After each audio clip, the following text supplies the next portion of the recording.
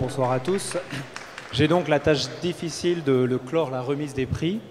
Euh, et je dois dire qu'en écoutant les histoires des entreprises euh, ce soir et leur parcours, j'ai trouvé un certain nombre de similitudes avec International SOS.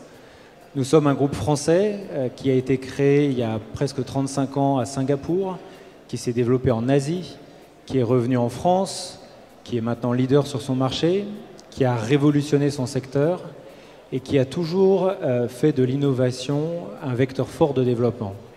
Donc euh, j'avoue que je me retrouve pas mal dans un certain nombre d'histoires entendues ce soir. Et notre vocation aujourd'hui, c'est vraiment de continuer à accompagner tous ces développements à l'international. Pour le prix spécial du jury, euh, c'est un peu notre prix coup de cœur. On a eu beaucoup de discussions avec les membres du jury. Et je dois dire que tous les lauréats, euh, enfin tous les nominés et le lauréat, nous ont tous marqués par quelque chose. Beaucoup d'histoires de développement, beaucoup d'international, de l'innovation, et on a eu un choix difficile à faire ce soir et on a finalement, euh, je ne vais pas dire le nom, retenu une entreprise qui nous a beaucoup plu, à la fois par la partie recherche et développement, par la partie développement à l'international et par les solutions très innovantes qu'elle a mises en place. Je vais la liste des finalistes. Donc, effectivement, il y a une grande variété. D'abord, Concept 1900, qui est une entreprise française qui a commencé par la fabrication de sujets de manège. Je ne sais pas si vous savez ce que c'est que les sujets de manège.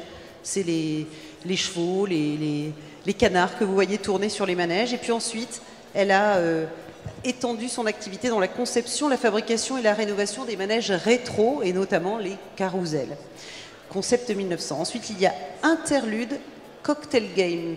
Interlude, en fait, c'est une société d'édition qui édite des jeux de société. Donc, cette euh, gamme Cocktail, euh, Games, euh, ce sont des jeux de cartes, des plateaux, des jeux en ligne pour les enfants comme pour les adultes.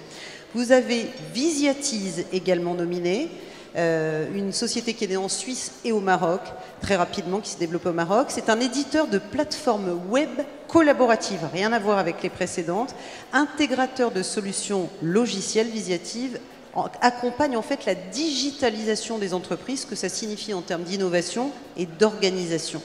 Et puis il y a Allmix Group, qui est une société euh, basée aux Pays-Bas et qui propose des alternatives aux additifs chimiques, aux antibiotiques euh, dans l'industrie agroalimentaire et dans la santé, essentiellement à partir des algues. Voilà les quatre finalistes et le lauréat est la société Allmix Group qui est représentée par son PDG Hervé Balusson.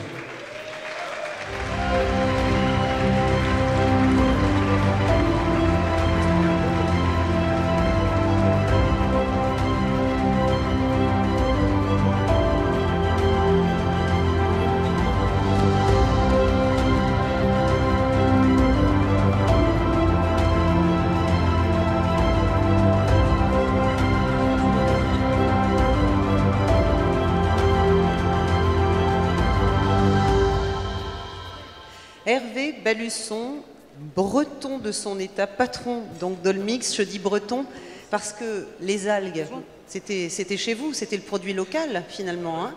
et euh, grâce à ces algues, eh bien, vous êtes en train de révolutionner littéralement euh, le, tout ce qui est euh, chaîne alimentaire, santé, et vous remplacez donc les antibiotiques des produits chimiques dans la chaîne alimentaire. Hein. ça commence par l'animal et ça arrive jusqu'à nous les hommes. Et donc, euh, voilà, vous, nous aidez à aller mieux, à nous porter mieux, à vivre mieux Oui, effectivement. Donc, euh, le groupe Olmix, euh, c'est une histoire. Près, du micro. Oui, le groupe Olmix, c'est une histoire qui a 30 ans. parler des algues en Bretagne, les Romains les utilisaient déjà il y a 2000 ans. mais à mon avis, il est préhistorique. Donc, on n'a rien inventé, on a simplement remis euh, à l'ère euh, du 21e siècle l'algue dans son environnement.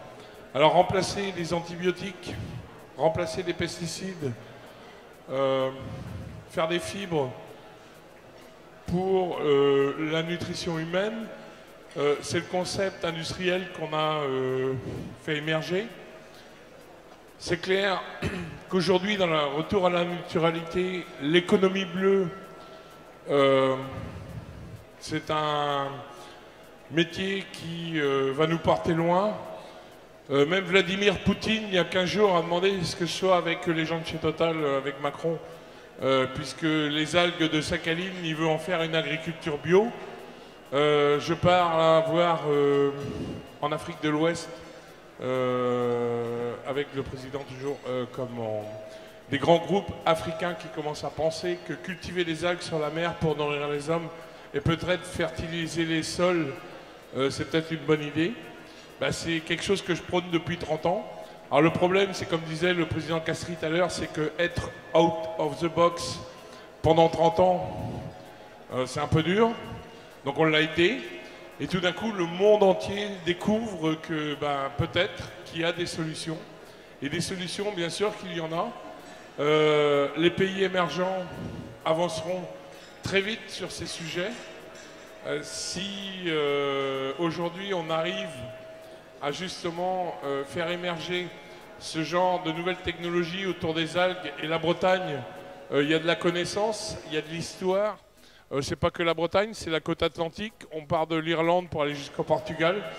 On a des recherches qui existent depuis des centaines d'années.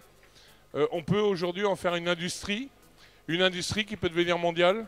Et on peut, je pense, dans ces domaines, arriver à, euh, bah, je dirais, améliorer la santé des hommes, euh, des animaux et des plantes. Merci. Merci.